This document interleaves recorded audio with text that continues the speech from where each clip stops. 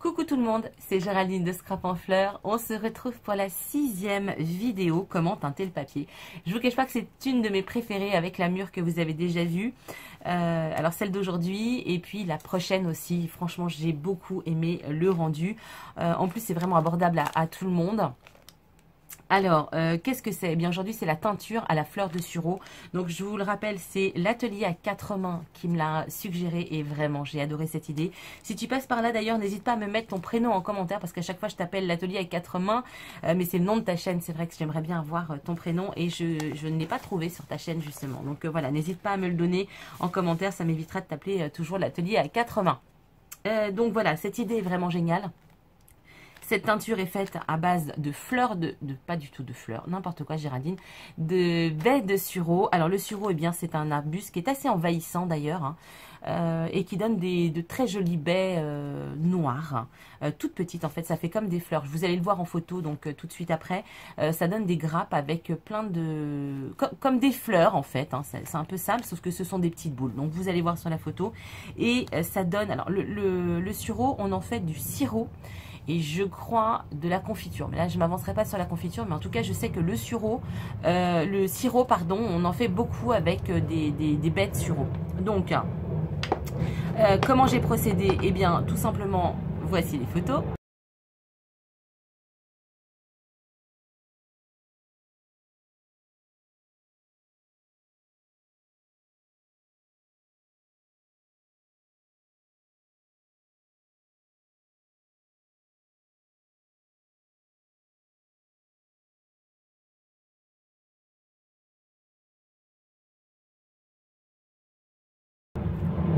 Donc vous avez vu la grappe de, de baie. Ensuite, vous avez vu les grappes directement euh, mises dans l'eau bouillante. Donc comme d'habitude, ce jus, je l'ai laissé, cuire une bonne quinzaine de minutes. Ensuite, je l'ai laissé infuser, donc refroidir. Enfin, tiédir parce qu'à un moment donné, euh, quand il était quasiment froid, je l'ai filtré et j'ai euh, donc mis le jus, donc vous savez, dans mon, dans mon récipient bien, mon récipient blanc. Excusez-moi, je parle un petit peu vite, du coup je m'en mêle les pinceaux. Euh, et ensuite, donc, ce que vous voyez donc dans, ce, dans le bac, c'est la première chose, c'est la teinture du papier. Et puis ensuite, vous avez la teinture du tissu. Alors, la teinture du tissu, pour les quatre premières vidéos, donc euh, celle de la verveine, euh, de la mûre, de la feuille de mûrier et de la noix, honnêtement, je n'ai absolument pas pensé à teinter du tissu. Ce qui est idiot parce que j'adore faire ça. Et là, ben, je sais pas, j'étais tellement contente de vous faire ces vidéos que je n'ai pas pensé à teinter le tissu. Pour la cinquième vidéo, euh, donc celle d'aujourd'hui, la sixième et la septième, j'ai fait de la teinture. Euh, j'ai donc teinté des grands morceaux de tissu et je les ai mis à sécher dans mon jardin. Sauf que c'est la journée où on a eu de l'orage que j'ai complètement oublié que mes morceaux de tissu séchaient dans le jardin. Et évidemment, eh bien, euh, toute la teinture est partie. Pourquoi elle est partie? Parce que je ne teinte pas vraiment euh, comme il se doit le tissu. Je me contente de tremper le tissu dedans et comme je vais m'en servir pour faire des couvertures d'albums ou de junk ou peu importe, que je n'aurai pas à, à, relaver en tout cas ces réalisations. Donc du coup, je ne fixe pas la teinture. Ce qui fait que eh bien, au premier coup de lavage, et ce qui s'est passé, euh, premier coup de flotte, et eh ben en fait, tout, s'est délavé. Euh, il n'est resté que des traces euh, moches sur le tissu. Donc, j'étais obligée de le repasser en machine. Donc, j'ai perdu la teinture à l'hibiscus et j'ai perdu la teinture de la prochaine vidéo. Sauf, vous allez voir un tout petit morceau que j'avais fait sécher à la maison sur mon robinet. Donc, évidemment, celui-là, je l'ai conservé. Mais le reste, je l'ai perdu. Donc, heureusement, pour cette teinture, j'avais conservé au réfrigérateur l'excédent, parce qu'il m'en restait quand même un gros saladier et ça m'embêtait de le jeter. J'avais jeté, euh, celle de la, de la vidéo future, mais euh, celle-ci, je l'avais gardée. Euh, parce que je m'étais dit que j'allais le mettre au congélateur. Et bien heureusement finalement que j'ai fait ça parce que du coup ça m'a permis de retenter le tissu. Donc ça je vais vous montrer aussi. Donc, euh, parce que le tissu, on n'y pense pas, mais c'est génial. Donc, je vous rappelle, la teinture tissu, moi, je fais pas de la vraie teinture tissu. Je me contente juste de tremper mon tissu dans le bain de couleur euh, et c'est tout. Mais normalement, il faut appliquer, alors je crois que c'est avant ce qu'on appelle la mordance, c'est ce qui va venir fixer votre tissu. Après, il y a aussi des solutions pour fixer un petit peu le tissu après. Euh, notamment, je crois que le vinaigre est un bon fixateur. Mais voilà, moi je ne le fais pas parce que, encore une fois, je vous dis, je, je l'utilise pour des albums. Je n'aurai pas à relaver euh, ce que j'aurais utilisé. Donc, euh, donc voilà. Alors, puisque je vous ai parlé de la teinture pour tissu, on va commencer par la teinture pour tissu. Euh, ça, c'est de la dentelle blanche que j'ai acheté donc chez Action, que j'ai teintée. Donc franchement, le résultat est génial. Alors attendez, on va faire ça sur ma vieille enveloppe. Comme ça, vous allez voir vraiment la différence de teinte. Donc voilà, vraiment c'est génial. Et pour le coup, eh bien, donc voilà mes petits morceaux de tissu. Par exemple, on va faire ça. Du coup, j'ai la dentelle assortie. Donc, si je fais un album euh, ou un junk ou peu importe ce que je vais faire, en tout cas, j'aurai la, la, dentelle assortie. Et je trouve que ça, c'est vraiment, vraiment génial. Donc, voici les gros morceaux. Alors, je vais vous l'ouvrir parce que on a, des, on a des traces, vous voyez, notamment des traces de pliage ici vous pouvez voir ici. Euh, là, eh bien c'est la trace quand j'ai plié mon papier pour le mettre à sécher sur le fil. Donc vous voyez cette grosse ligne. Du coup, ça concentre un peu plus le tissu, de la couleur donc sur ces morceaux. Euh, j'aurais dû le faire sécher, j'y ai pas pensé. Euh, en le froissant, euh, parce que si voilà, je l'avais fait sécher comme ça, en l'ouvrant, j'aurais eu plein, plein, plein, plein, plein de marques. Mais bon, c'était pas mon souhait. Là, j'en ai suffisamment. Le tissu était un petit peu froissé. Donc, vous voyez, j'ai quand même suffisamment de, marques. voilà. Donc, ça me suffit pour ce que j'en fais. Donc, du coup, eh bien, pourquoi j'ai trois grands morceaux de tissu? Puisqu'il y en avait un pour le tissu euh, pour la teinture à l'hibiscus. Il y en avait un donc pour la teinture d'aujourd'hui. Et puis il y en avait un, morceau pour la prochaine vidéo. Du coup, j'en ai profité pour tout teinter. Comme ça, au moins, ce sera fait. En plus, j'aime beaucoup le rendu de cette couleur. Donc, euh, donc voilà. Donc ça, c'est pour le, euh, le tissu. Voilà. Donc ça, j'aime bien. J'aime beaucoup. Et ensuite, on va attaquer au reste. Donc, comme les autres teintures que je fais, euh, j'essaye de faire la même chose pour qu'on ait un rendu similaire. Donc voilà la teinture pour les enveloppes. Et donc vous voyez la différence quand je soulève le rabat. Teinté, pas teinté. Alors pas teinté plus ou moins quand même, mais moins teinté puisqu'il y avait donc ce, rabat euh, d'enveloppe. Donc, euh, donc voilà pour les, la teinte. Donc ça c'est pour les enveloppes.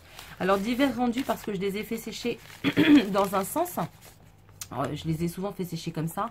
Du coup, bizarrement, euh, ou à l'inverse, je ne sais pas. Enfin, en tout cas, il y a un côté qui est plus foncé. Alors, je vous rappelle, j'ai tout fait sécher dans l'herbe. Hein. D'ailleurs, euh, il a fallu que je cours après mes papiers puisqu'il y a eu un grand coup de vent euh, à ce moment-là. Donc, voilà pour les enveloppes. J'ai fait également des morceaux de cartes. Donc, je trouve franchement le résultat génial. Alors, c'est vrai qu'il faudrait que je vous mette en balance le, papier blanc pour que vous ayez une idée. Voilà. Alors, je ne vais pas toutes vous les montrer, les cartes, hein, parce que c'est des grands morceaux voilà, donc euh, voilà, il y a plein de morceaux, mais euh, voici en gros ce que ça donne. J'en ai fait pas mal, j'avoue, pour euh, cette teinture. Ensuite, le fameux papier blanc de mon imprimante merdique, mais qui est un très très joli aussi rendu. Voilà, alors fonction de comment je l'ai fait sécher, vous voyez, la couleur est, différente. Mais globalement, on est voilà, sur à peu près les mêmes, les mêmes teintes. Donc ça, je vais le passer rapidement. J'ai tout classé pour que ça aille plus vite. Hop, alors là, vous voyez, il y avait des taches. Donc, je trouve que c'est sympa. Grosse tache comme ça euh, dessus. Hop, je vais récupérer mon enveloppe. Là, donc, je vous le rappelle, les blocs action où il y a trois couleurs. Alors, moi, évidemment, j'ai plus que du noir et du craft parce que je retiré euh, le blanc. Tout le blanc, donc je vous rappelle la qualité fine, et la qualité épaisse. Alors là, c'est la qualité fine. Donc, vous voyez, euh, c'est pareil. On a un côté fonction dans, le sens, dans le ah non, ça c'est euh, celui-là. Fonction dans quel sens il a séché. Il y a un côté plus foncé et un autre plus clair. Moi, je trouve ça super rigolo parce que justement, ça fait des effets euh, de style sur un même papier. Donc, ça c'est la couleur, le papier, donc le papier fin. Voilà. Vous voyez la différence. Ensuite, on passe, alors celle-ci que je me trompe pas, donc ça c'est le cartonné, donc le papier plus épais, toujours des blocs action, toujours cette différence de teinte, hein, recto verso. Ensuite, le papier aquarelle, c'est pareil, on a toujours une différence de teinte. Voilà. Ensuite, le papier le fameux papier avec des portées, le mot que je cherchais dans la précédente vidéo, voyez, ça m'est revenu que maintenant, il m'a quand même fallu euh, deux jours, c'est pas grave. Donc le papier ligné pour écrire des portées. Euh, et puis de ce côté-là, donc euh, à carreaux. Voilà, ça c'est pour les cahiers. En même temps, donc j'ai désossé bien sûr ce qui était ce fameux petit cahier. Alors qui est vieux, parce que regardez, on est encore en francs, 6 francs 05. donc euh, j'ai teinté donc ce papier, alors non pas pour l'extérieur parce que je le trouve très très moche, mais euh, pour l'intérieur et ça me permettra de faire des embellissements sans doute euh, donc avec ceci, ou peut-être de faire une couverture de joint parce qu'elle est quand même très rigide en recollant quelque chose par-dessus. Enfin bref, voilà, j'ai teinté aussi celle-ci parce que je trouvais que c'était intéressant.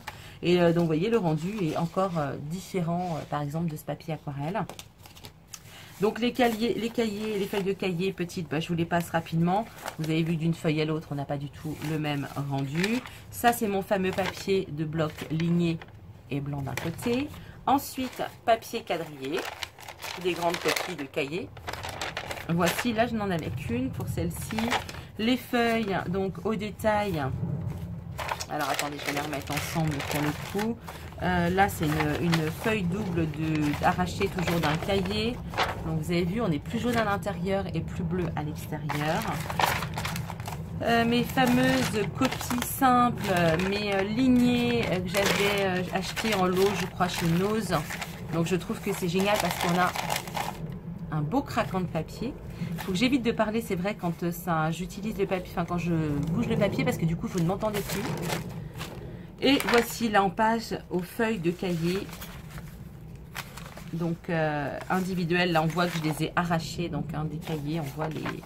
Et donc pareil, il y a toujours un sens qui est plus marqué que l'autre.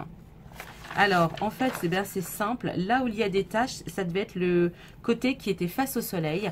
Et donc, évidemment, l'autre côté qui était donc dans l'herbe. Et c'est pour ça que la teinte, du coup, est, différente. Mais franchement, je trouve euh, l'ensemble... Voilà, l'ensemble donc génial. Donc voici pour la teinture aux baies de sureau. Ah oui, alors ça, j'ai pas dû vous le dire parce que ça fait trois fois que je recommence la vidéo. Euh, les baies de sureau, c'est le moment. On est déjà vraiment, euh, comment dirais-je, limite euh, pour les bêtes sur eau, donc pour celles qui veulent s'essayer, vraiment allez-y foncez. Et une petite astuce que je ne vous ai pas euh, dite, mais c'est ce que je voulais faire donc euh, pour celle-ci, je n'ai pas fait parce que finalement je n'ai plus de place dans le congèle, donc j'ai été obligée de jeter. Mais n'hésitez pas à congeler votre, votre excédent de jus, parce que comme ça, ça peut vous permettre dans, le, dans le courant de l'hiver, et eh bien de ressortir ça de votre congélateur, vous laissez simplement décongeler et vous trempez votre papier, ça fera exactement le même effet et ça vous permettra deux fois ou trois fois dans la saison, peu importe, de recommencer à teindre votre papier. Bien évidemment, c'est valable pour toutes les teintures. Euh, si vous reste trop de teinture de café, c'est dommage de jeter. Gardez-le, congelez-le si vous avez de la place. Et vous, quand vous, avez un autre moment pour reteinter, eh bien, vous avez toujours de la teinture d'avance. Donc, voici pour la teinture de sureau. N'hésitez pas à me dire en commentaire euh, ce que vous en avez pensé. Moi, je vous dis à très vite pour la dernière vidéo. Alors, la dernière vidéo pour l'instant, hein, je vous l'ai dit, pour la septième vidéo. Je peux vous le dire maintenant, ce sera la teinture à l'ortie et c'est trop bien. Bis à vous, à la prochaine. Ciao